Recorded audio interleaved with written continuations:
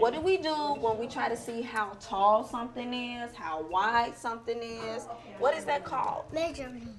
Thank you, Izzy. High five. We're going to measure the outside of the wheel. Wow. You have to go around the whole tire. Got it, Izzy? We're measuring. What number did it stop at?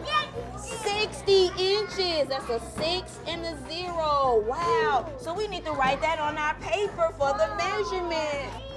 What about the 60 inches is taller than Izzy.